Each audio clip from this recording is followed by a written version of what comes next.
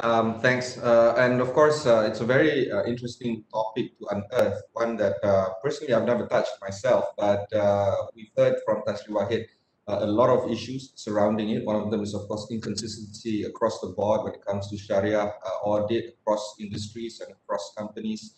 Um, and of course, we also look at talent depravity, where there's not enough auditors to go around that number of 5.9% is actually quite uh, interesting because uh, if you have 100 auditors in the room and only five of them are ready to do both, then you are severely deprived of talent in terms of executing a Sharia audit, both in conventional as well as Sharia. Um, and of course, uh, the tail end, uh, Tan Sri was mentioning that um, perhaps there is an opportunity uh, for companies to start uh, exporting their services in terms of Sharia audit. But of course, you can't do all this if you don't know the uh, talent depravity that exists in the market, uh, you don't have the experience, uh, and of course, you don't have the funnel to get all the potential auditors in and train them and have them and have them trained in a consistent way, uh, where we can have a very nice uh, pool of talent to work with uh, and supply them in the industry. So because of that, there's a chicken and egg argument here on what comes first. Do we create the methodology and consistency first, or do we create the talent and hopefully these pool of talents uh, will solve the problems as they go along and work in the industry? Because of this, we have this leaders forum. We have four illustrious panelists. Much of them I have worked with. Um, so let's start with uh, uh, PwC first. Uh, actually, Nik Nik, I want to focus on the idea of Sharia audit and where it stands today and if there are leaders right now watching in, there's about 200 or 300 of us uh, right now tuning in, what would be some of the key thinking that they must have uh, in order for them to grow the industry as well as grow the Sharia audit function within their corporation in order for them to actually mainstream it across their board, across their organizations? Uh, Jay, go ahead. Uh, okay, thank you very much, Encik Ibrahim. Uh, Assalamualaikum and good morning to, to all of you. I would like uh, to thank you for inviting me to this session. Uh, also, Assalamualaikum to uh, Datuk Nik, uh, Datuk Muhammad Reza, and also Encik Nazlee, uh, my fellow panelists. Uh, Encik Ibrahim, a very good and very, very, very uh, deep uh, question for, for, for the first one.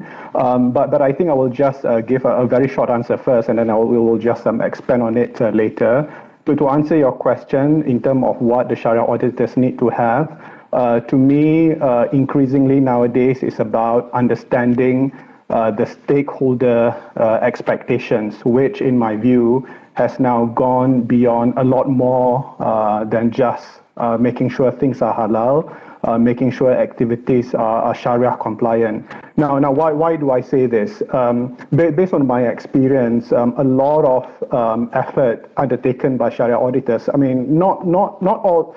Um, um, I mean, of course, generally is, uh, you know, we, we look at whether the transactions comply with the Sharia principles, uh, we make sure that the contracts are, are, valid. We make sure that the processes are correct. The rest of it, which are of course very, very important. But if you look at it from the stakeholders' perspective right now, and what, what I mean by stakeholders are customers, the customers who, who, who use Islamic finance products. Many of those are, are, are, are, getting, are young, are young population now. If you look at it from the perspective of investors and also regulators, a lot more people are expecting more uh, than just uh, complying with Sharia rules.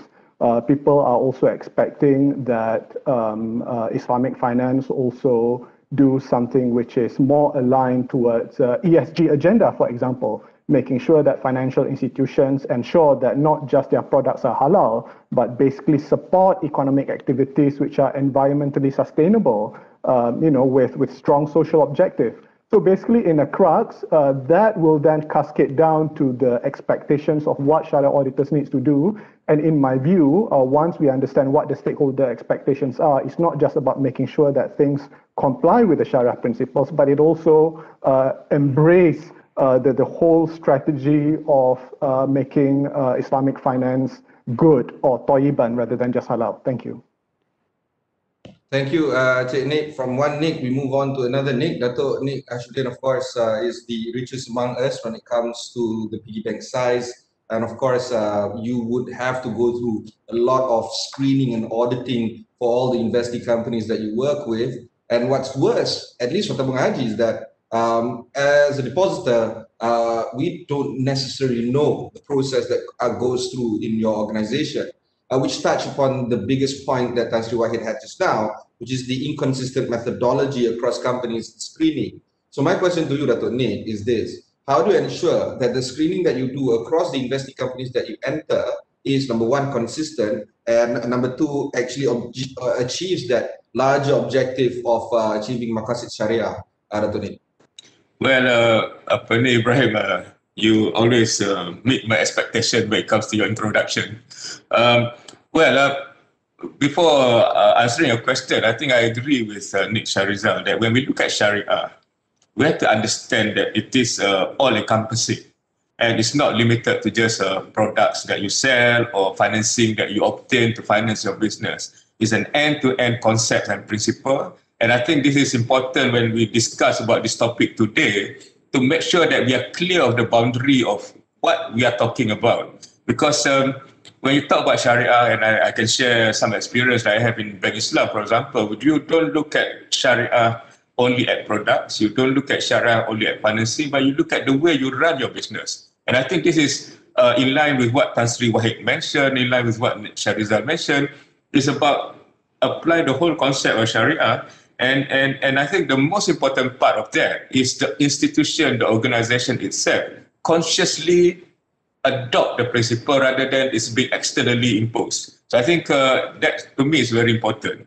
And then of course, um, when you talk about uh, Sharia, uh, especially when you start to look into the details part of it, accounting, auditing, uh, one uh, issue is about uh, what will be the parameters that we're looking at. Otherwise, you know, uh, this will be the, the challenge. But I think to a certain extent, this is part and parcel of Sharia where there would be um, differences of views, but it's within a certain uh, uh, scope that people can agree on.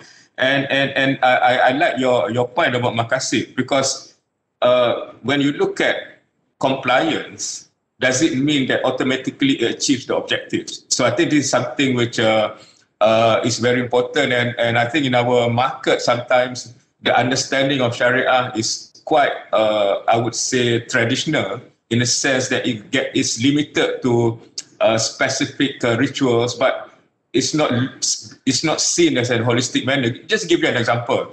Uh, you have a traffic light that uh, that is uh, they're supposed to you know avoid accident. People stop when the light is when the light is red, so that you know you don't have uh, accident. But assuming that somebody you know uh, just just pass on without uh, you know complying with the light, then you have accident. You can have damage to property and you can have death. And these are all uh, incorporated in maqasid of Sharia, meaning, uh, you know, the maqasid, one of the maqasid is talking about protecting uh, life and livelihood as well as uh, protecting property. So the installation of the traffic light itself is a very much Sharia uh, uh, activity. So I think if you look at that concept, especially in running organization, I think it's is definitely beyond uh, product and financing. So I hope uh, when we talk about uh, this, uh, we are careful in terms of uh, understanding the scope that we're talking about. But coming back to your question, uh, I think while there could be differences in terms of certain views, but if, for example, you look at the nature of business, you look at the financing approach and you know certain basic corporate governance, I think uh, I don't see much uh, disputes in terms of that part. But once you start to go into further detail, then maybe uh, you know there could be uh, differences of view. But uh, this is where uh, I would say that the issue of competency is very important, and the broadness of knowledge and experience, especially in dealing with you know, certain emerging concept, emerging ideas. So I think. my, my closing point at this moment is that while we talk about Sharia audit, and, and I believe that it is important to support the capital market, the Islamic uh, financing sector, but we need to appreciate that uh, Sharia is more uh, is more uh, holistic, and we have to understand Sharia uh, wholesomely. And I think uh, as we progress further into this subject, I think you can see the, the the beauty of Sharia and the, the how audit can help that to be uh, experienced and externalized uh, by the stakeholders? Uh, thank you. Nik. So for the participants, uh, Q&A is available. Just type in the box uh, on the right side of your screen um, and I'll be able to pick it up if it's relevant to the conversation. Um, let's move on to uh, Cik Nazlee. Um, when we talk about uh, what. Nik was mentioning just now, um, compliance doesn't necessarily mean achieving the objective. I mean, I can pray five times a day and I meet the compliance level, but I mean, you know, if it's just a ritualistic notion, then I don't really appreciate what the solat is all about. That's the whole point. But on on one side, we're talking about an area where it's profitability uh, and and urgency and timeliness. I mean, Affin Bank, after all, is a profit-making entity. So let's talk about the need for you to comply, but at the same time to push forward the higher agenda uh, of trying to uh, improve on the integrity of the Sharia assurance as well as achieving the objectives of Maqasid Sharia. Before we can actually understand the whole concept of this conference, which is to mainstream Sharia audit into the organizations you're working in. So, for instance, if you can uh, mainstream Sharia audit inside Affin Islamic Bank, can you then export that to the Affin group, for instance? So, there's a lot of questions here. Let's start with the easiest one. What do you do as a leader when you want to focus on expediency versus trying to achieve a higher agenda, uh, Yeah, uh, thank you. First of all, as what Datuk Nick was saying just now, it's, it's not about the product, it's not about the, the, the financial numbers. So the compliance or the Sharia the audit the Sharia compliance side for the, for for us for the bank it has to be the whole process, the whole value chain. So uh, Affin Islamic is even in a more interesting uh, situation, uh, Cik Ibrahim, because we are we are a leverage model. You know, Affin, uh, while Affin Islamic come up with a product, come up with a process, the distribution side is done at the bank, the conventional side. Yeah. So the the the challenges, or rather the, that we face, are to make people understand why we do such a thing. There are, for example, in terms of product or services that we provide, there are charges that uh, the conventional bank can can can impose to the customer, but on the Islamic side, there are some limitation. The the only different or rather the, the the best way for me, from my personal view or my experience, to address this is to explain to people, to our our leverage model, to our distribution side, why we are doing such thing. Understanding, look, this is the thing. For example, we have committed certain line to, to a customer, whether customer use or not use, it is it's the line has been given. We have agreed. You cannot force them by putting up additional charges and all those things. And there are cases, for example, uh, we have to make people understand before they sell a product, you know, with respect to our product and services. You really have to explain. Of course, all uh, bank conventional something has to explain, but for Islamic side, you have to be even more detailed and to be fair to the customer. So the the the Maqasid Sharia, the the the what you call it, the I didn't look at the compliance side. I, I would want our people, especially even our distributor, to understand why we are doing this in such a way and and and that still benefit the bank, the group as a whole. So my view is, as what Datuk Ni was saying, it's not just about the end product, what we sell and we do auditing on, on this thing, but we have to make people understand why we are doing such a thing. Only then we can move forward, uh, or rather bring, bring the mainstream, the Sharia audit to the mainstream. And then if I may add uh, what Tan Sri Wahid was saying just now, there were two risks that we face with respect to not meeting the Sharia the Sharia audit, which is legal and reputational. But in, in the bank side, if I may add, there's another there's also a financial risk to it. We have to make people understand when there is a Sharia non-compliant issue, you cannot recognize any income derived from that transaction. So it create a massive uh, financial risk also to the bank, especially the Islamic bank. So again, to make sure or rather to really ensure that everybody is in line the best way is to make people understand why we are doing this way so that that's how i i, I address this issue. Uh, thank you, Cik Nazlee. Um, Dato' Reza, we, we move from a profit-making entity to a non-profit. YAPEIM, of course, uh, is a trust, uh, and we look at how uh, Sharia audit is extremely crucial for any type of organization. That's what the keynote speak, uh, speech was all about. Um, sole proprietorship, individuals, GLCs, MNCs, even governmental organizations, uh, of all the classifications that Tan Sri Wahid mentioned, one of them is, of course, uh, non-profit. Uh, so let's talk about how uh, Sharia audit is extremely crucial uh, for it to be executed, even for a non-profit like uh, uh, like YAPEIM. Uh, thank you, Brian. Thank you. Hold on, I will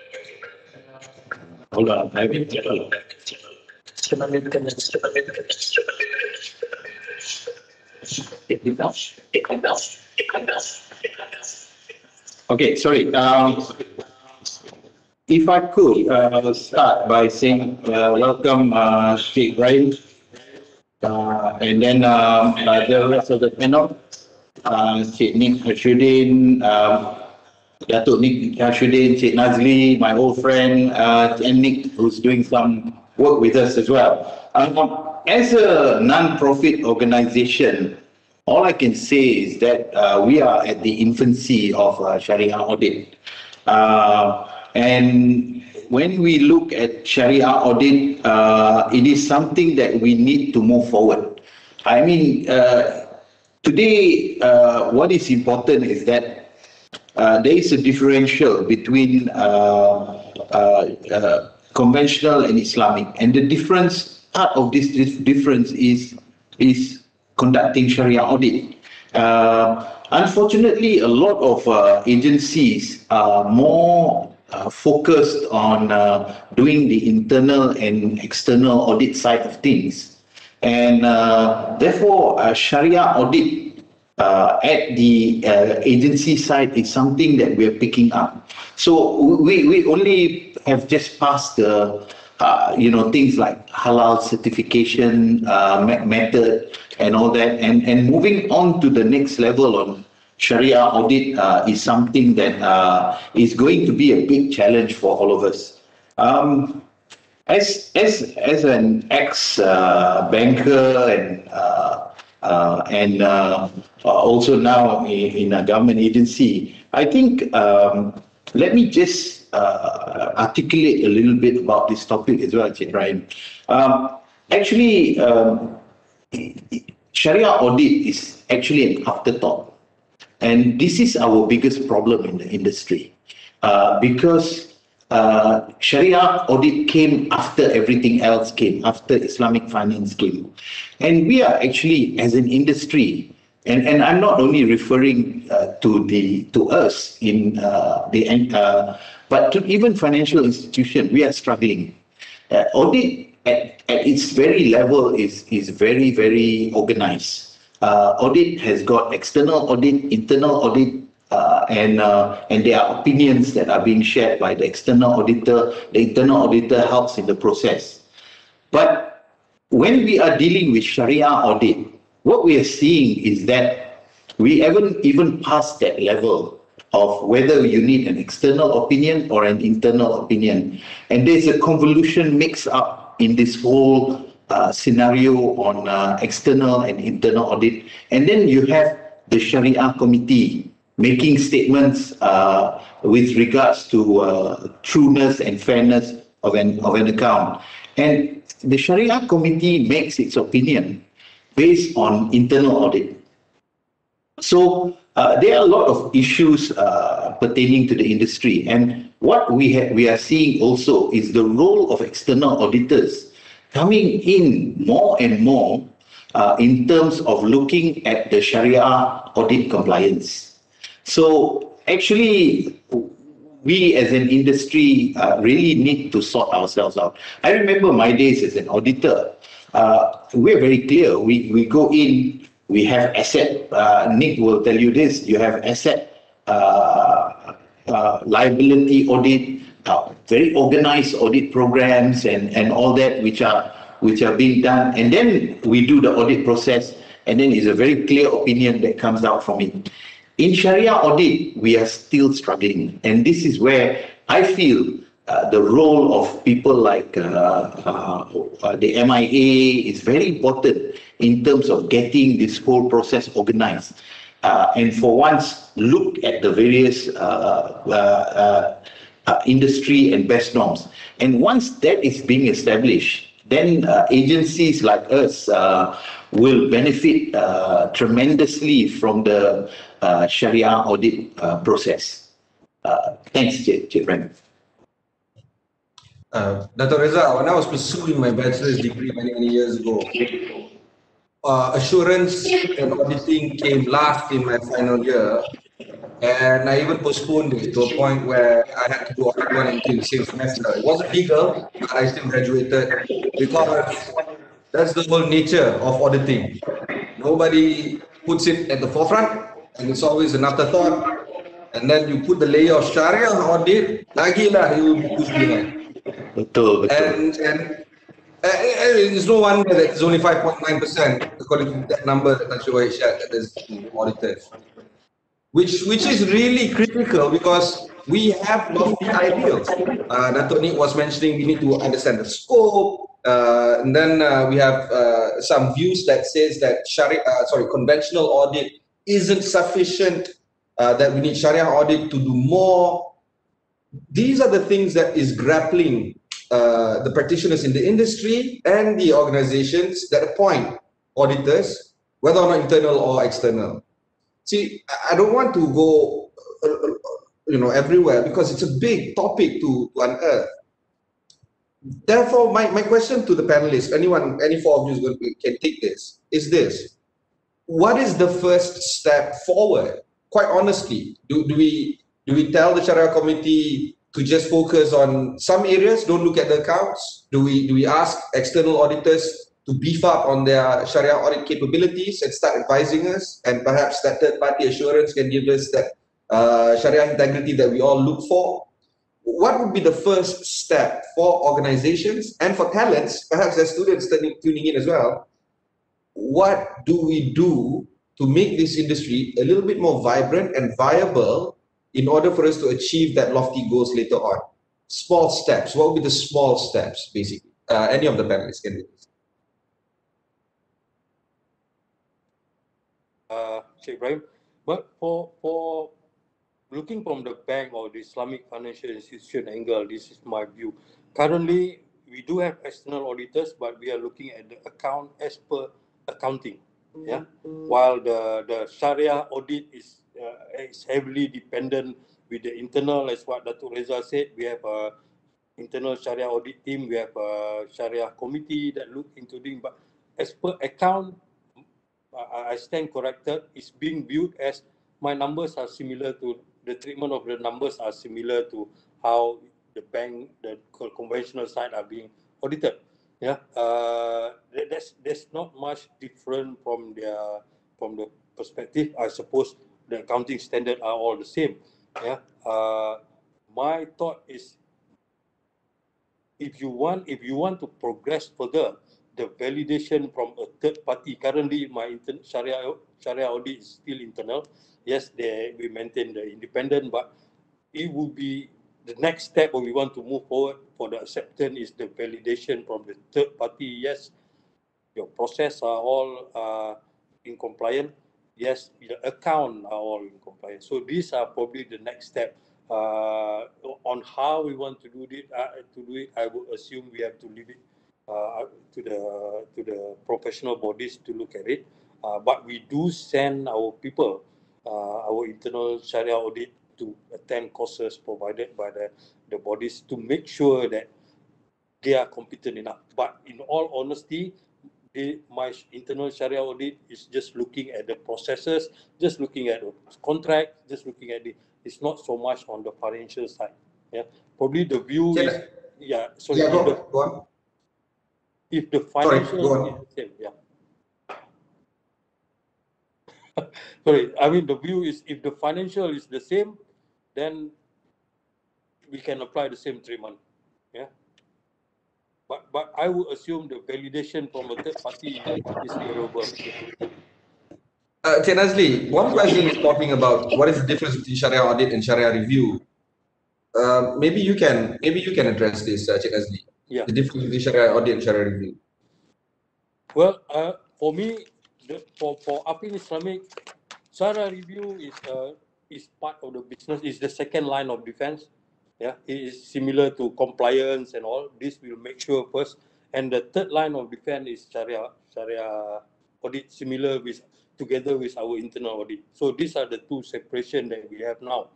Uh, uh, Sharia review is more of a preventive uh, measure that we want to make sure that we all are compliant. But Sharia audit will come in in the, the, the last leg to make sure whatever we have done or we, we do not miss anything that uh, that re- the review team will, will have uh, gone through. Sharia review probably uh, reside in, in most bank either reside internally within the Islamic bank or reside with the compliance.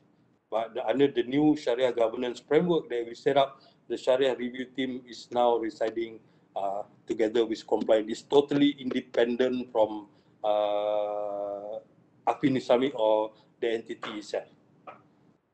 Right, thank you, Cik Nazlee. Let's move to uh, uh, sorry, Dato' Reza, you have something to add? uh, few things. Uh, on your question on what is the step forward uh, to make this industry vibrant, uh, I- I think the only way forward is uh, regulation and uh, more and more regulation that comes in is going to drive this forward because until this point in time, when uh, if the regulators did not say anything, we wouldn't be talking even of Sharia audit because regulation has come in. That is why Sharia audit has started. So, in order to go to the next step, uh, we need to have more regulations to come in because nobody is going to do Sharia audit on a voluntary basis. So therefore, regulators needs to come in and say that we want an opinion on this matter pertaining to Sharia. So this it's very important that uh, the regulators push this agenda forward so that that that that is uh, something that that needs to to happen. Thanks. Uh, Lee let's let's talk about that a bit. Do you believe that more regulations is needed for something like this to grow, or do you believe that perhaps practitioners can do best practices for themselves, um, devoid of laws being put in place? Uh, okay, sorry. Uh, I saw uh, Datuk Nik uh, raise a hand just now. Dat- Datuk, would you like to go first? I, I saw that you, you wanted to say something. Tabung haji, kita bagi tabung haji jalan. Uh, Good. okay. we have a slightly different experience in Tabung Haji uh, for the very fact that uh, Tabung Haji was established because uh, there was no institution in 1960s that uh, invest in a Sharia uh, compliant uh, approach, and and because of that, it becomes the the main uh, the raison d'etre of Tabung Haji. You know, you must uh, exist because of Sharia. And, and until today, uh, if you look at our act, there's no specific requirement in terms of that. But given the, the reason why we established and and how important we are to the Islamic community, because uh, not only we we invest the money, but the money is used to fulfill their religious obligation, uh, meaning haji. Uh, it is very important for us to to to be uh, in compliance uh, in in all aspect of our business. So uh, perhaps maybe because the way we were set up, embedded, you know, Sharia is embedded from day one. So uh, because of that, uh, we do have a Sharia committee. Uh, uh, we do have uh, uh, a review, or, or and, and I think we are even integrating the the Sharia review or audit part into the uh, the overall uh, annual audit or in, uh, internal audit process. So um, there are situations where uh, the demand for Sharia audit can come naturally. Okay, so we have two opposing views here. Um, natural implementation versus uh, enforcement in terms of uh, regulation. Nik, uh, go ahead. Oh, okay, thank you, Encik Ibrahim. Uh, I, I like to, to, to look at it from a different di dimension. Uh, I'm going to talk about two things. Uh, number one is alignment of objective, and number two is efficiency. Number one, alignment of objective. Why, why do I think it's important? I think when it comes to Sharia audit, uh, we have to realize that uh, the approach, the objective may not be a standard common across all because Tabung Haji's objective may be different from YAPE, may be different from Affin Islamic. So, so what we need, number one, is alignment of objective for each organization between the board, the Sharia committee, and the Sharia audit. Now, people might think that uh, alignment of objectives are automatic. Everyone is on the same page. But in my experience, sometimes not necessarily. You know, uh, the Sharia committee uh, has uh, wants uh, certain things to be done. The Sharia, uh, the, the, the, the, Sharia auditor took a different strategy, and the board had a, have a different point of view. so, so I think number one is very important to get everyone aligned to discuss what are the strategic Sharia objective for that particular organization. Number one, I can say, I think typically everyone agree that Sharia compliance is important. Uh, it cannot, uh, you know, it have to be followed uh, because if Sharia compliance are broken, then you have reputational risk, financial risk, and the rest of it. That one is, is easy. But number two, um, you know, I would encourage the, the stakeholders to think. Let's say if you take an Islamic financial institution, what would be the reputational impact if that particular Islamic bank is seen as supporting um, a, a customer which conducts, which engages in unfair labor practices? What, how would the public see when that particular Islamic bank extend financing to an activity which are envi environmentally unsustainable? Uh, is, are these issues important or not? Because if these issues are important, then I would argue that uh, the Sharia audit should also look into, into those things, you know, because these are uh, the, the alignment of strategic objectives. That's number one. Uh, number two is about efficiency. Now, in my experience, um, when I um, uh, I, uh, a lot of the things which Sharia auditors do are generally still quite manual. I think there's been an encouraging trend towards more automation, more efficiency. But, but I give you an example. Uh, for example, uh, within the Sharia audit, a lot of Sharia auditors look at the contracts and they look at the statements, the words, and, and everything. And that takes a lot of hours, a lot of days. Nowadays, we have artificial intelligence which can scan a document and highlight anomalies, you know, so, so that's one potential. Uh, another example where Sharia auditors spend a lot of time, uh, they would actually uh, look at whether certain parameters are broken. So for example, if the customers have uh, a lot of proportion of non-Sharia compliant income, they would actually look at the report, they would interview, and perhaps a few weeks later come up with a finding. But when you think about it, a lot of these things can be designed around a technology. You can have a dashboard where if certain parameters, certain Sharia rules are broken, immediately that dashboard highlights what the problems are, and Sharia auditors can zoom in into that area within seconds, you know, uh, if not if not um, you know uh, minutes. Uh, so, so in my view, uh, those are the two things that I, I think uh, the, the, the profession should focus on. Number one is the alignment of the objective, making sure everyone's on the same page. And number two, finding ways uh, towards getting more efficiency from that process and probably by the use of technology. Thank you. Uh, that, this is a very um, critical moment to actually touch upon some bigger ideas that uh, perhaps you can handle uh, and it ties in with the question that comes in from Hazami Zainal from Brunei, Bank Islam Brunei.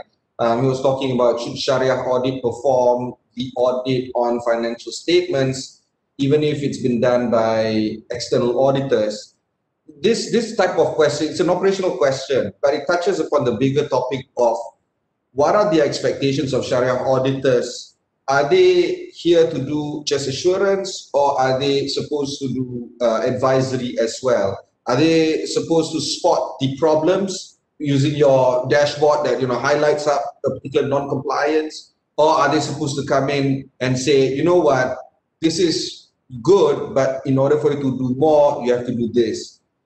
What is the scope of the modern Sharia auditors, and how should we view it uh, in a way where we can create talents to meet that kind of expectations, uh? Um, okay, so uh, on the topic of uh, financial statements, uh, th this is my personal point point, point of view.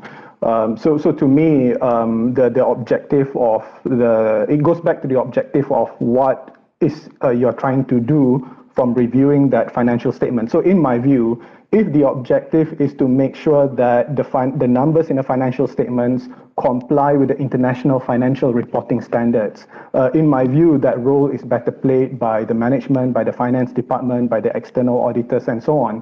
But if the objective is um, you know, are, are, there any particular information within these financial statements which might indicate that certain areas within our business are not Sharia compliant or we're not focusing on the Sharia objective? I, I think Sharia audit can, can play, play a role to, to, towards that.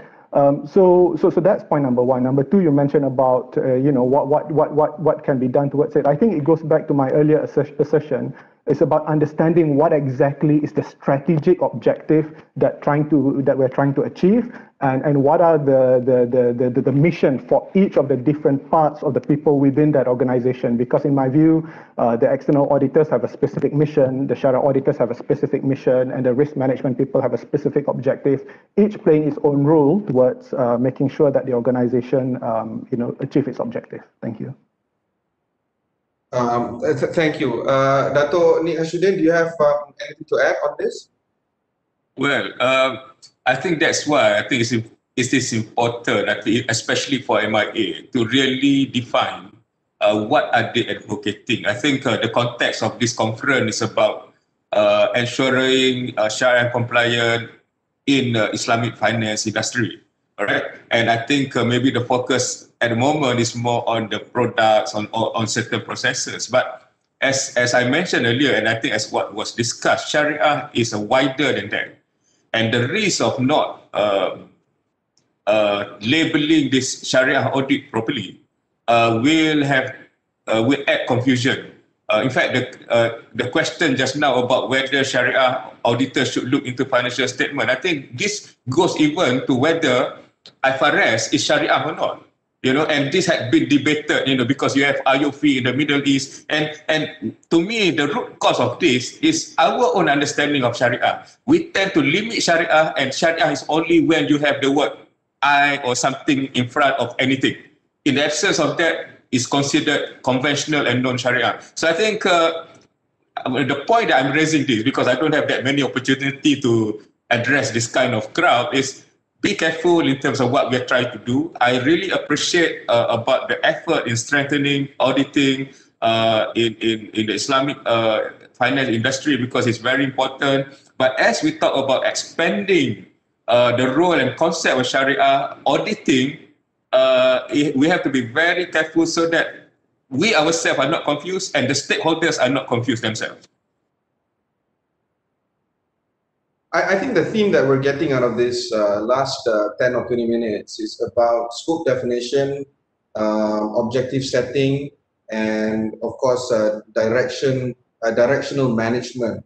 Uh, and, and these are meant to be defined by the leaders of organizations, both within F, um, Islamic financial institutions, whether or not they're standalone, like uh, for instance like uh, Tabung Haji or whether or not they're in a group mixed group like uh, Affin for instance or whether or not they are in NGOs and of course whether or not they're external like PwC for instance. Uh, but the scope setting uh, sometimes is back to that whole uh, uh, comment of um, uh, ritualistic. You have a template. If you want to you know go for a financial statement this is the definition setting uh, if you want to audit internally, this is the, it's just that. I mean, you just go to folder number three, item number five, that's, that's a template. We can't, based on 10, 20 minutes that we've had, we, we can't do that anymore because number one, definition setting changes uh, over time. And number two, circumstances dictate necessity. Uh, Cik Nazlee was mentioning just now, if there is a line somewhere in the financial statement that talks about pure income, then yes, then we should really get um, the auditor's uh, eyes to actually look at the financial statement as per what uh, Shahrizal was mentioning. But if it's not, then leave it, right? Uh, but this does not sit well with uh, people that go for compliance. I'm not talking about Sharia compliance, but compliance per se. Because compliance, by nature, they have a check checkbox. They have 10 checkbox, they tick one after another, failure of which you're not compliant. But this, the world doesn't work in black and white for Sharia. And, and back to that point of how do we make this industry vibrant? Because when you talk about conventional audit, it's easy. There's a checkbox, get it done, train people to get it done, get companies to comply, khalas. But this can't be done for Sharia auditing. Are we making things a little bit more complicated for ourselves in order for this industry to flourish? What, what, what is the limitations that we are imposing on ourselves here? Uh, anyone can take this. Uh, uh, hopefully somebody takes this because kalau tak malu eh. okay, uh, Dato' Rizal. So. I, I think I just wanted to address your, the, the scope of the modern Sharia auditors as well uh, and, and encompass all this. Uh, basically, what Datuk Nik said is very important. Sharia is all encompassing. It's, it's actually everything, you know, and, and we, we actually get, get, get very confused because we have Sharia audit, which is done by Sharia auditors. We have Sharia review, which is done by compliance department, and we have Sharia risk, which is done by risk department. So in encompassing all that, you, you have to audit all this in order to look at that. So, and, and, and I give you an example like what uh, Nazlee mentioned about calculating income. You have to audit income because uh, certain levels of income may not be Sharia compliant. Asset use, you have to know what your asset is being used so that it's not being used in a non-Sharia compliant manner. And then we, we, we haven't even got into the people behavior. People behavior also comes in because if people don't behave properly, we have a reputational risk and and and and, and the other risk that comes uh, forward to this. So actually, uh, you know, this whole uh, concept of uh, the Sharia audit, uh, as the day goes by, will get bigger and bigger. And I can tell you for once, uh, in my previous shop, they tell me that even the external auditors look at Sharia issues because their opinion is being affected uh, by uh, whatever happens uh, Sharia wise in an organization. Because uh, one wrong transaction or one uh, something that doesn't happen will, will impact the whole organization in terms of its uh, future viability. So the external auditors have got to look at it. So as we move forward, all I can tell you is that the external auditor will also be a Sharia auditor. And, and, and they will acquire these skills as time goes by. And, and uh, this is something that the industry must face.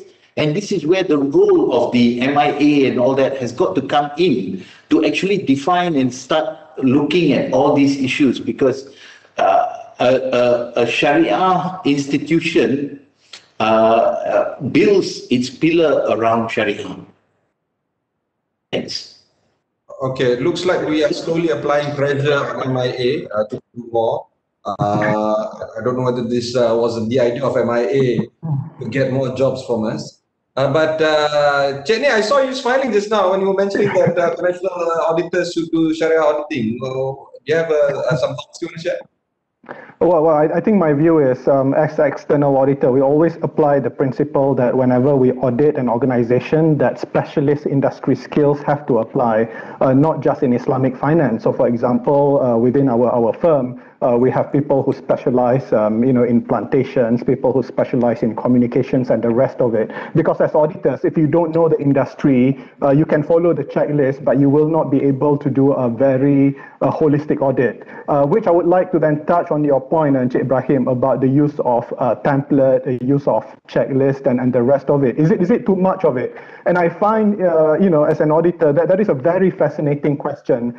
Uh, now, the thing is, um, are templates and checklists good or bad? I think it depends on the context. For example, if the context is an auditor needs to check something very specific, there are 10 rules, 10 parameters that have to be checked. A template and a checklist is very useful because it ensures consistency across the checking. But the problem is, too much reliance and too much focus on checklists can also be dangerous. Why do I say dangerous? Okay, let's look at the, the, the Islamic finance context. Um, one of the most damaging thing that can happen to the Islamic finance uh, industry uh, is when a customer comes to the branch um, speaks to the to the to the to the to the counter officer and and start asking question what is the difference between this product that product and so on? And the response that the customer get is number one oh it's actually not just that different. It just got i in front of it. Uh, these are just to to you know you you get um, you know no different. Don't worry about it start giving the wrong information the wrong um, um you know misrepresentation and the rest of it so let's imagine that particular context, and this happens a lot uh, within within the industry.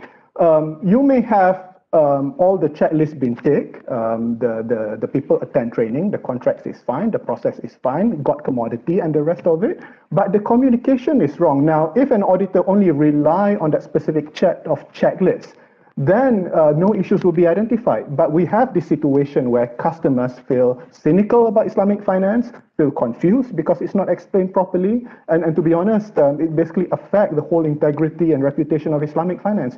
So this is, in my view, where sometimes uh, the use of checklists um, and also um, you know have to be looked in within context uh, but the objective of an auditor doesn't mean whether external auditor, internal auditor, or, or Sharia auditor is to make sure that uh, a, a, holistic point of view is given out, not just limited by checklist. Thank you. See, this is the, the, the issue that leaders are facing because this is a leaders forum. Uh, when it comes to Sharia audit, everything depends on circumstances and objectivity. But when you go down to the operational aspect, um, there's a lot of questions on the sidebar that talks about the operational aspect. Number one, uh, inconsistency. Chin uh, Chin Fong was ask is asking um, because of the different methodologies that is being put in place. There is an inconsistency in Sharia audit. How would auditors on the ground uh, refer to? Uh, what would be some of the consistent methodology that that they can refer to? You see, th these are these are real, tangible questions. And remember, when when when we do audits, not just you know, I have the whole month to audit one particular item, you know, you don't have that luxury. You have to do a lot of things. Uh, so another operational question that was asked, that was being asked, uh, is of course from Haji Yusruddin, uh, Haji Yahya from Thai, uh, Brunei. Um, he's asking overlapping roles, right? Uh, what Dato Reza was mentioning just now. So his particular question was, okay, I am doing uh, Sharia audit um, but you know, there's an issue between Sharia audit and Sharia review uh, because at times both uh, working scopes are overlapping each other. How do I distinguish what I am doing and what I'm not supposed to do between the two, um, and making sure that I do not cross over between one or the other? Again, we're, we're down to solving operational issues for the individual down there that might not have the kind of visibility that partners in, in audit firms have or, or CEOs in a company have. How do we make this tangible for our folks in the organization to be able to carry out their job in earnest? I, I think that is the main crux of this debate, uh, whether or not we can operationalize the function of Sharia audit in our organizations. Anyone who wants to take this? Uh, if I I think the overlapping between Sharia review and Sharia audit also exists on the conventional in the conventional space with respect to compliance and internal auditor. So there, there will be some areas of overlap and, and all those things. But I like what Jenny Shariza was saying earlier. Is the context setting or the, the, the you know, alignment of the the what you call it the direction of the organization.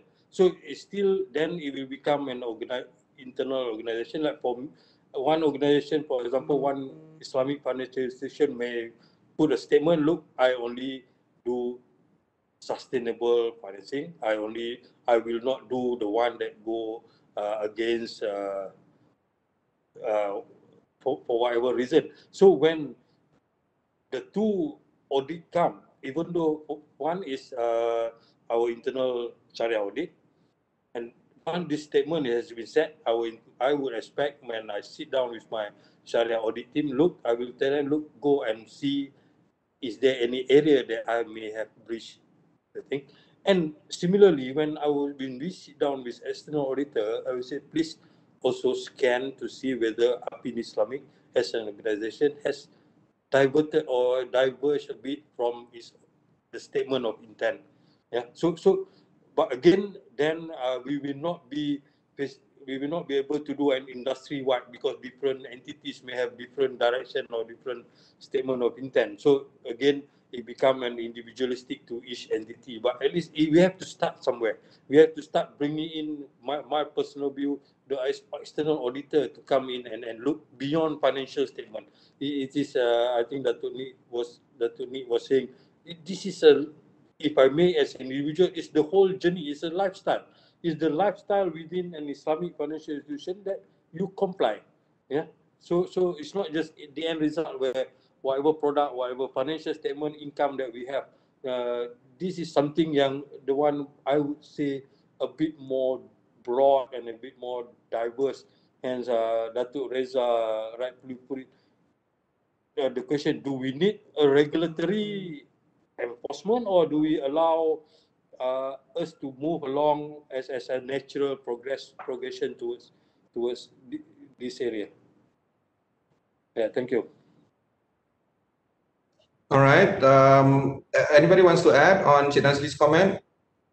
All right. Okay. Uh, we have a poll right now um, for those participants that are tuning in right now. Um, the question is, do you believe your company has the desire to quote unquote export Sharia audit functions to non-Sharia units? Um, there's three options. Uh, yes, you believe so, uh, that the ability for your company to, or desire for your company to export Sharia unit function. No, or you're unsure. Um, right now, there's 14 people that went for the poll. Uh, perhaps uh, we can get a little bit more color uh, for you guys to go uh, and try and try out that poll over there. Uh, let's move on to some um, questions that uh, the participants are asking.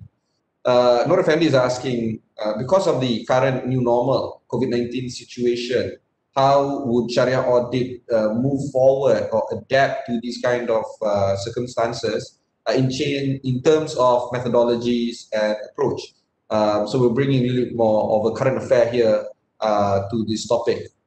Um, the panelists, um, anyone who wants to take up this uh, question by Norfendi?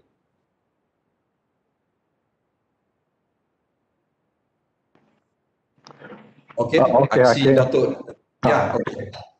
Huh? Oh, tak apa. Go ahead, Jenny. Uh, okay, um, so so because I, I suppose the question is um, uh, audit. Uh, to, to me, there are two things. Uh, number one, Sharia auditors, just like any auditors, rely on information to do its work. So so I think number one is is to focus on how do you get that information in the situation that we have right now. So obviously, people are thinking about um, you know um, um, online auditing. People are talking about getting the information through digital means and the rest of it. Uh, but but also, I would like to add point number two, which is more which is quite interesting. I think to me, um, in the environment that, that we have right now, the issue is not just whether how can we get the information to do the audit.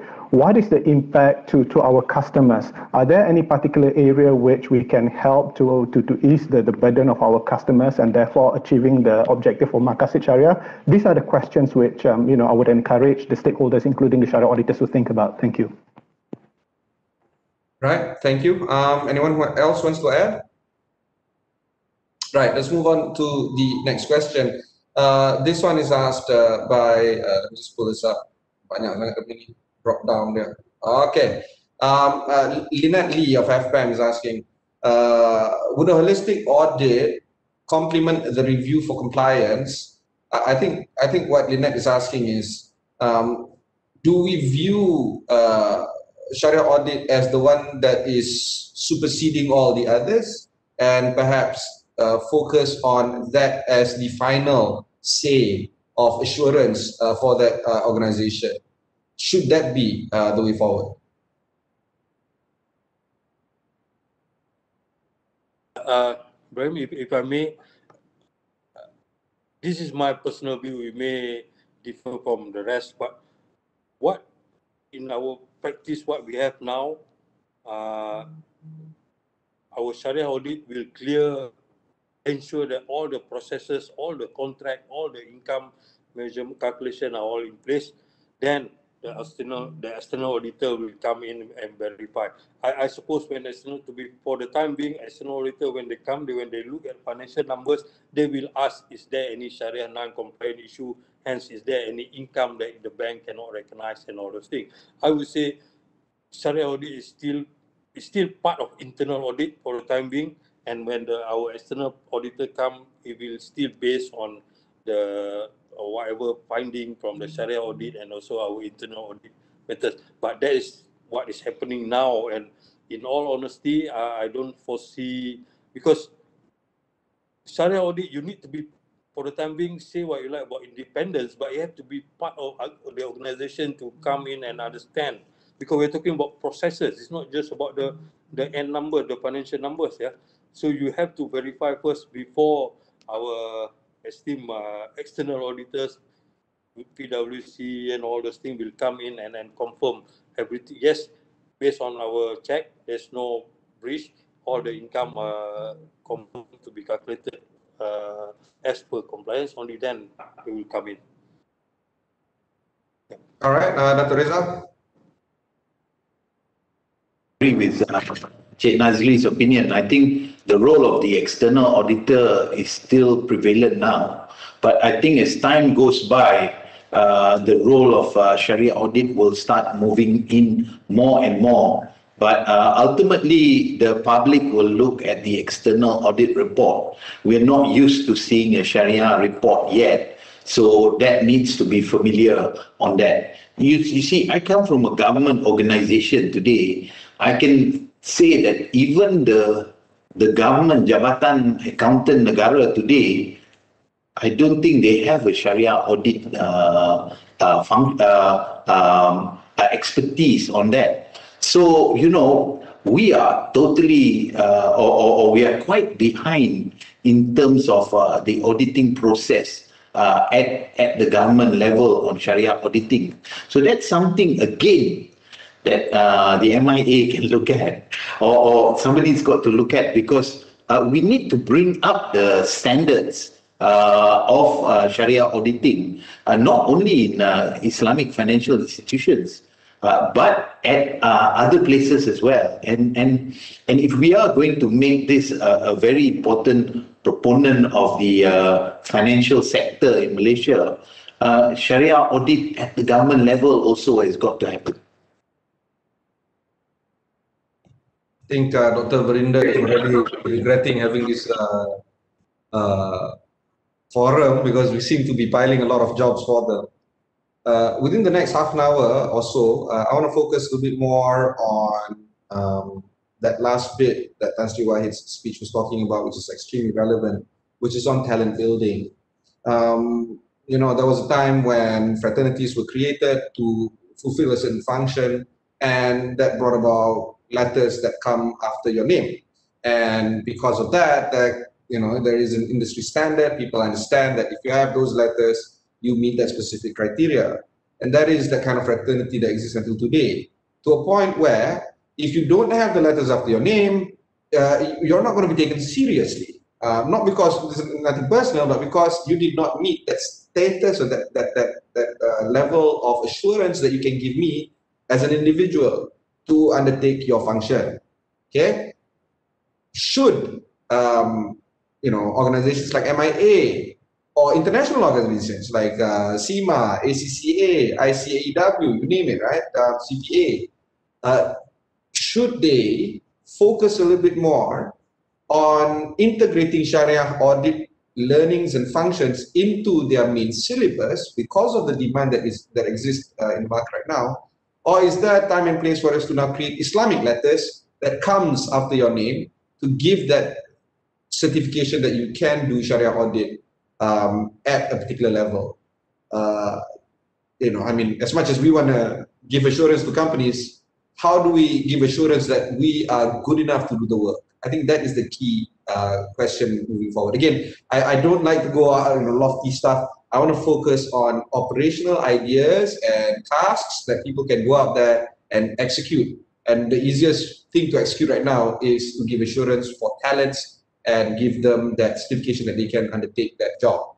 Um, uh, uh, throw this question to the panel. Um, anybody interested to take this up?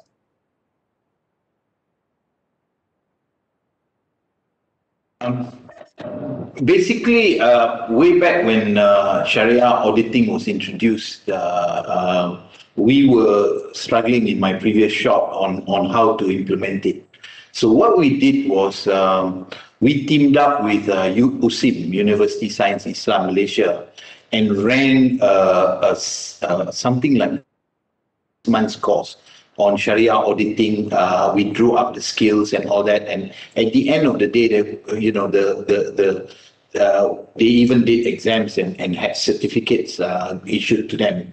Um, it was we were at the forefront of everybody else uh, when we did that. And guess what happened? 14 uh, people were trained, 12 have left within one year of the training. So, uh, and, and that's when you are ahead of the game. That's what happens. And uh, this was exactly what happened. But in honest essence today, a graduate that comes out on Islamic finance today is too much of a generalist.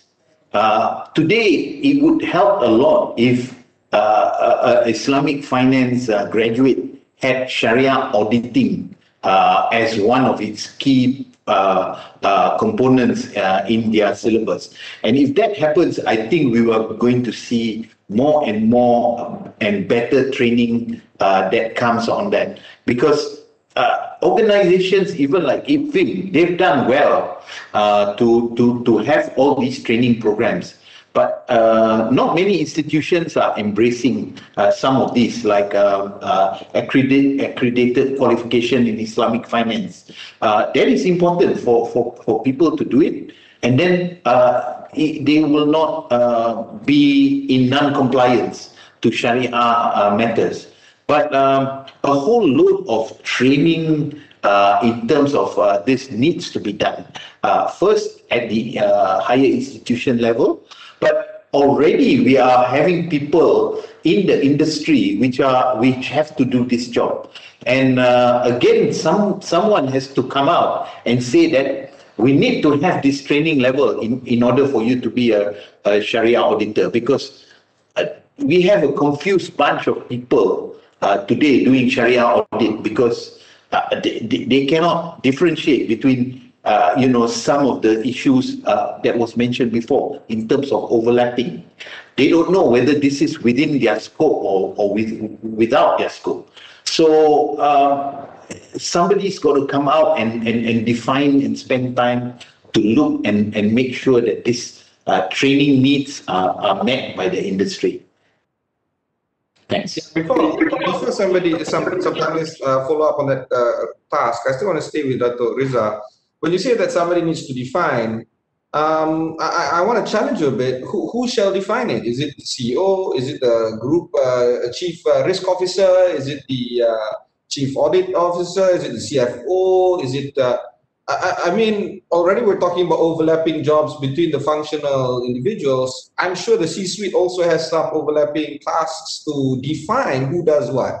Uh, what do you think of this?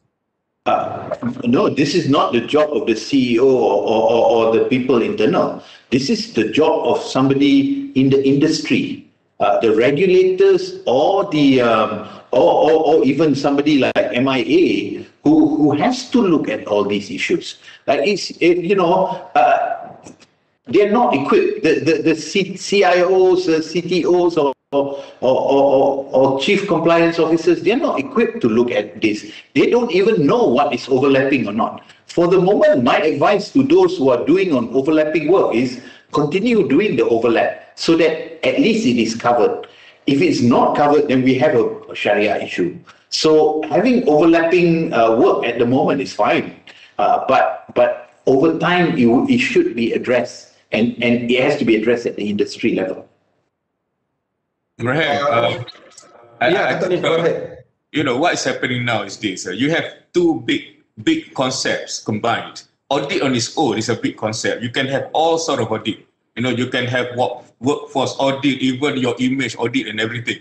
And then you bring Sharia into that. So, and Sharia, as, as what we have agreed, is also a, you know, a very uh, wide area. So when you combine the two, you end up with, you know, a very big concept combined. So I think the way forward is like what uh, IBFIM is doing is to say, okay, we have you know uh, a group of people who can audit uh, uh, financial uh, financial institution, especially on products and you know. So then we start to build one by one, block by block. Then eventually you can have a more uh, encompassing profession. So I suppose uh, based on our discussion, there is a demand for that. You know, I think institutions uh, want to ensure that they comply with Sharia, especially like Tabung Haji, the uh, Islamic financial institution, or even a, a normal uh, enterprise. There's no stop, nothing stopping them to say that I want to be Sharia compliant.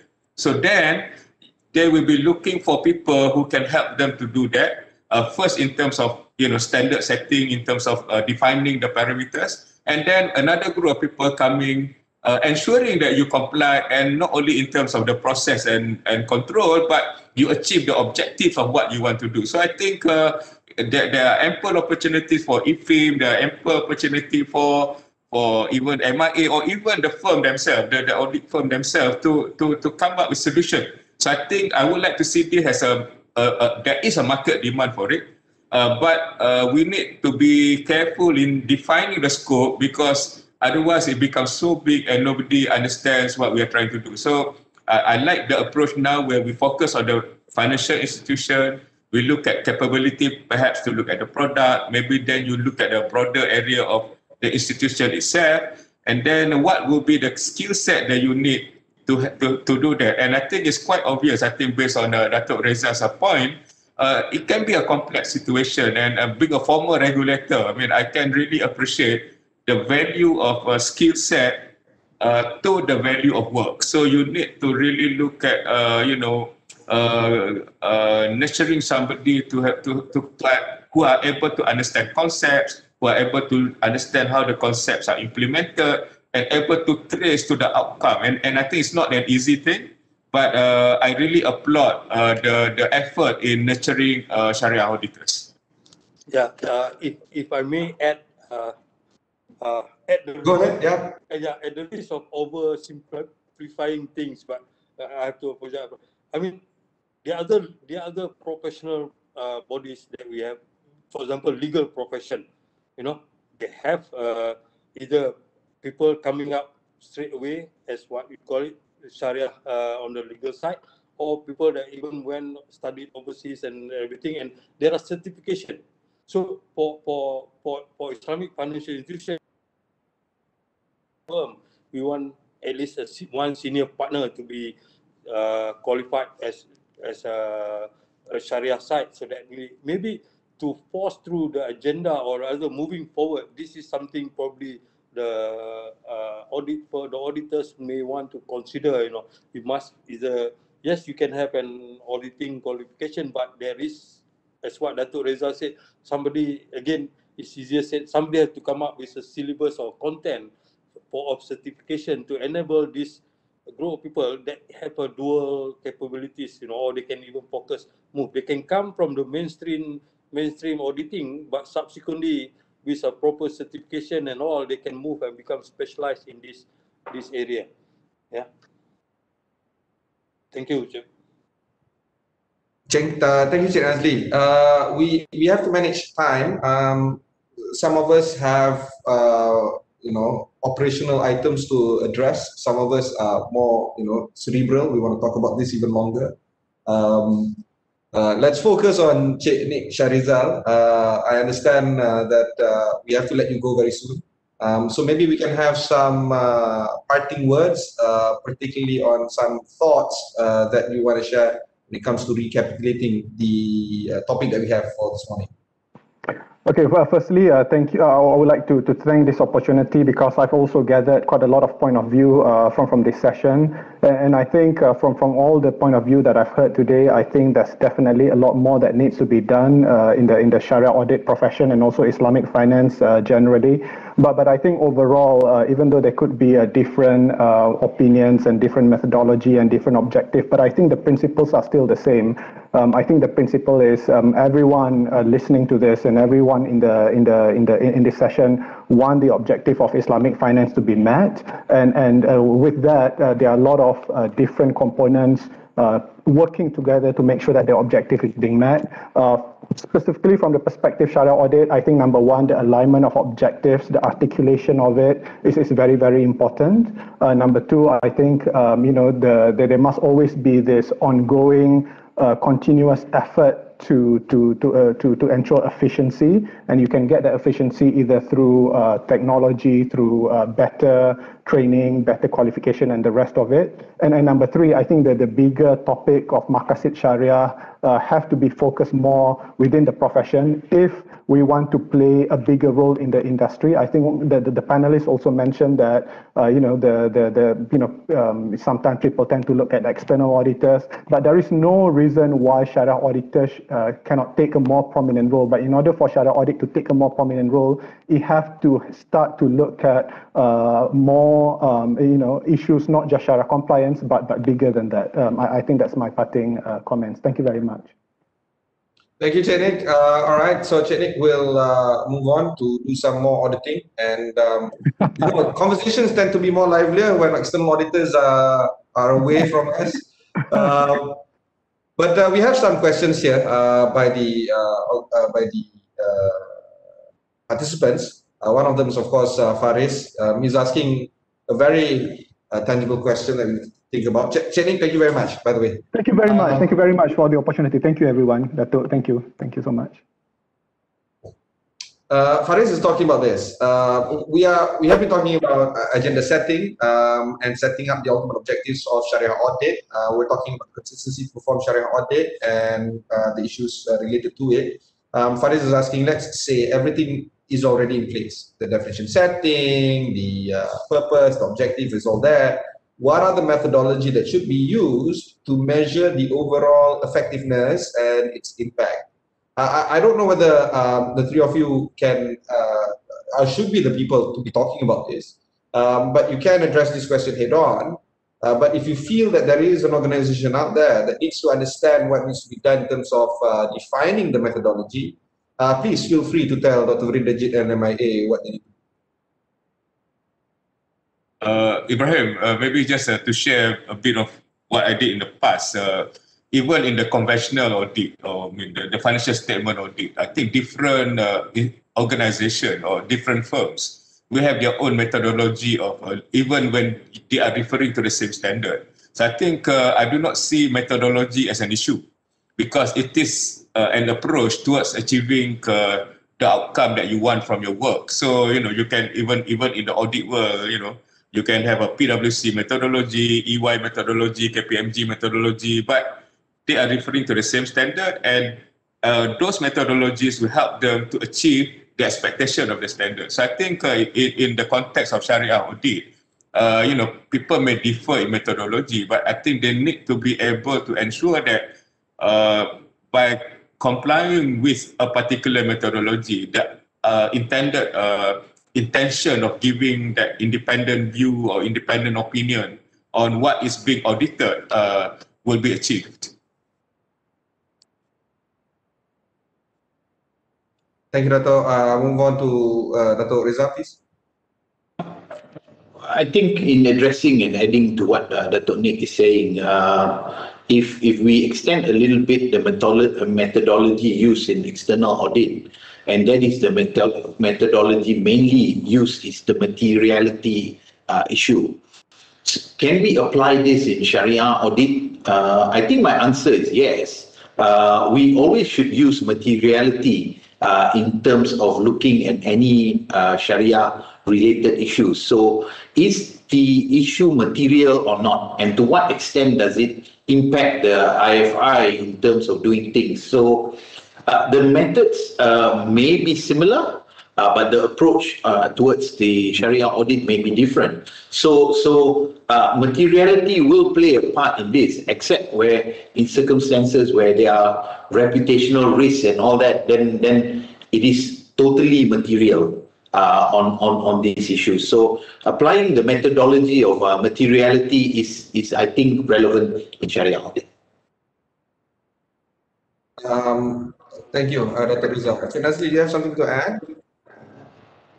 If I may, uh, Datuk Ni was saying Sharia audit is big, then or and Dato Reza was saying materiality. So th- these are the two currently my understanding there are two diverse thought. For some people may say, look, a non-compliant is a non-compliant regardless of whatever. Uh, a non-compliant, even a smaller non-compliant, then points back to what Dato Reza was saying. Is there a serious reputational issue on this? it triggers it may triggers doubt in, in, in the in the from the customer from the stakeholders uh, perspective. So these are the things that for me it probably has not been resolved. In all for all intents purpose uh, when you look at applying a broader concept of auditing uh, maturity definitely is uh, is a key factor. So now if you want to also push for this uh, Sharia audit to be to be going into the mainstream. We have to be clear on on this thing. You know, uh, you wouldn't want. Uh, I would. It's not. You know, so there's still two views on thing. A non-compliant is a non-compliant. You still five ringgit or you still certain amount is considered is still stealing. So how do we? There must be a, a uh, what you call it a forum to discuss on this thing and to firm up on this thing because otherwise uh, some, even some of the question that we, we can notice there are two diverse thought with respect to this in this area. So if you start pushing this to mainstream while this has not been resolved.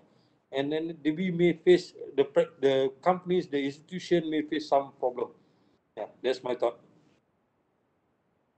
No, no actually you're right uh, Chinazli. um on the point of the question's been everywhere, let's face it, right? Um, and, and of course, this reflects the topic of the discussion. The participants coming into this forum, they have a very different idea from one to the other in terms of what Sharia audit is and should be and how to improve.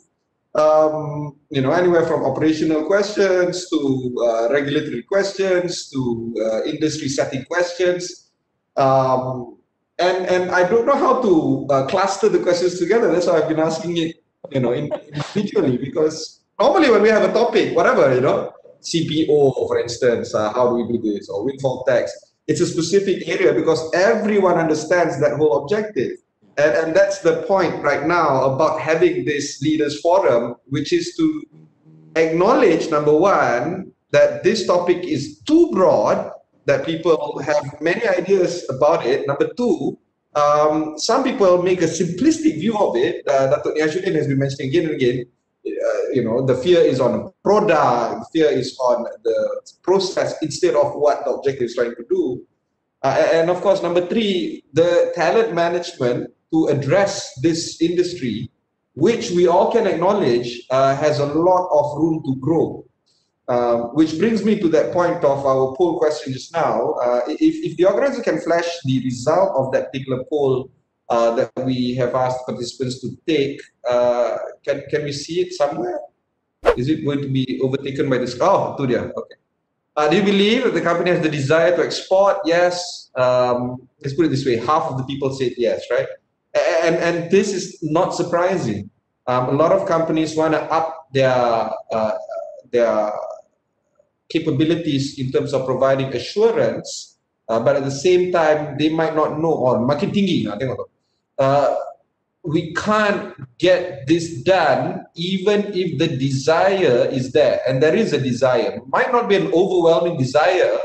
Half only uh, wants to do it, um, but we can't make it work until we tidy up the things uh, internally. Uh, what Cik Nazlee was mentioning just now. So the next five to 10 minutes, uh, when we part, can we have uh, some closing statements by the panelists? Uh, just to just to bring it back down to the ground. Uh, and I, I don't want to stay, you know, oh, let's let's let's talk about the cerebral stuff and, and, and we can't operationalize it. So so let's let's conclude in clear and concrete ways that at least the participants can go out there and try to look at Sharia audit in a very interesting light to a point where they can perhaps even mainstream it to the uh, organizations that they are in. Uh, maybe we can start uh, with Dato' Nik. Okay, uh, I, I just got three points. Uh, number one, uh, Sharia needs to be respected and adopted wholesomely. So I think I, I, mentioned that quite a lot this morning. Number two, we need to go beyond box ticking. And uh, I, I, would certainly like to see uh, the audit can connect to the achievement of the the objectives of Sharia or Maqasid Sharia. And thirdly, independent audit is certainly important, but it must be fit for purpose. So it's not just uh, you know, a, a labeling uh, that is made for convenience, but it must uh, add value uh, to to the whole uh, uh, governance of institution, particularly in assisting companies or institution to comply with Sharia. Um, Okay lah kita bagi Datuk Reza sebab uh, we we our sponsor to the final word uh, of this conference. okay, okay. Uh, thank you, uh, Cik, Cik Ibrahim and uh, the rest of the panel uh, for giving me the opportunity today. Uh, I think you know I we are in a state where there is a lot of um, uh, what we say confusion in the industry because uh, the scope, uh, the the skill, uh, and all all that is is is not pro- properly defined uh, in this industry. And as I, I, I started off uh, eh, right from the start, Sharia was Sharia audit is an afterthought. It came after Islamic finance and and it came after uh, everything else. So we really need to build on it and and and ensure that uh, it is there. And there, you know, it, it if you ask the industry to do it, um, I also has been in the Islamic banking institutions. Sometimes it's difficult to push this type of agenda at, at even our industry level. So this is where I keep saying that you know the association like the MIA and the regulators uh, uh, should come in uh, to to define this uh, in order for for there to be proper scoping, proper skilling of the industry. Um, the beauty, uh, as what um, Datuk Nik said, is an all-encompassing uh, thing, Sharia. Uh, it's it's it's okay to be different. Uh, it, it, so uh, we are going to make mistakes along the way as we uh, develop uh, the Sharia audit uh, framework and industry, but it's okay as long as we get a start and sooner or later we will come to conformity on, on this issue. So I really like to see the industry move forward on, on this with some leadership being taken up at the uh, regulatory and the association level. Uh, thank you, Dr. Reza. Uh, Cik Nazli? now we wouldn't want to, I mean, the big picture and all those things, we all of us have seen the, or rather discuss on this is quite broad. One thing, if I may, Islamic finance in Malaysia is less than 40 years old. Hence, as what Datuk Reza said, the Sharia audit is even younger than that. So, while there is, we, everybody agrees there's a need for the bigger or holistic view on things. My personal view now each individual institution has to take has to play a part in terms of ensuring Sharia audit within the respective institution is in place and promin as prominent as internal audit. Yeah, uh, use each indi uh, institution set a statement of intent or whatever mission statement and all those things and get Sharia audit to come in at the end and say, look, have a look whether we are going something against what we intended to do because my intention as an organization we have gone through the process we have gone through the board and all. So what i need now is the sharia side similar to internal audit side. Sharia audit also to validate what we have done or what our practice now is it in congruent with what we have set up to do so you have to start from there and once every institution instant in, internalize this and it will grow to much to become a more a bigger picture and surely it will go into the mainstream. Yeah, thank you. Thank you, Cik Nazlee. Um, we have to draw this conversation to a close. I just want to mention that the number of participants did not drop towards the end of the conversation. This is an, an indicator either they just switch on the computer and left the, the, the monitor, or they really stuck here until the end because they really feel that this is a topic that they need to address. I would like to believe that it is the latter, not the former.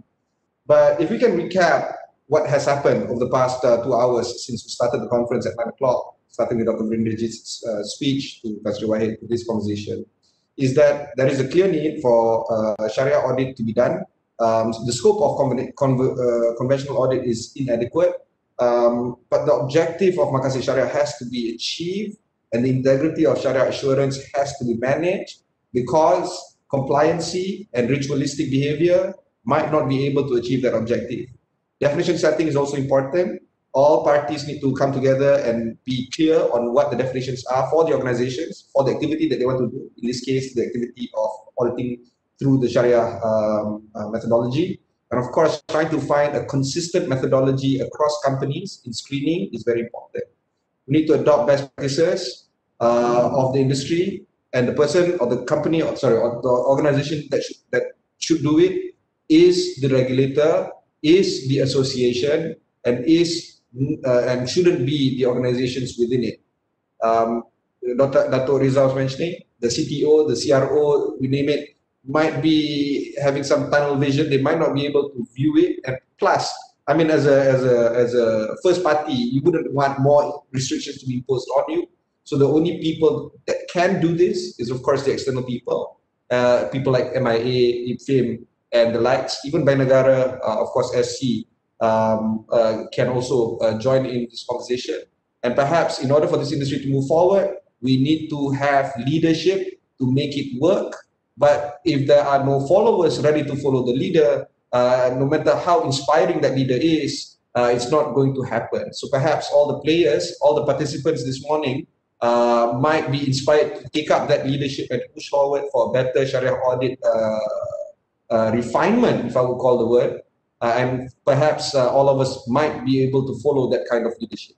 Um, there is a constant problem that the industry is facing. There is little understanding in the implementation of the job, and because of that, there is limited availability of talent uh, and scarce resource uh, pool does pose a threat in this industry to be vibrant, uh, and perhaps we need to align all these objectives together.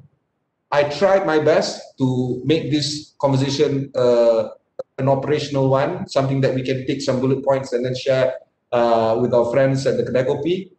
Uh, it turns out that some topics can't be done. That's my realization. Because uh, when it comes to shaping an industry, um, sometimes more than more often than not, uh, it's going to be a very cerebral conversation. Uh, Dr. Rizal was mentioning a few times already uh, that um, again, uh, sorry, normally I have a short uh, conclusion, tapi panjang sikit.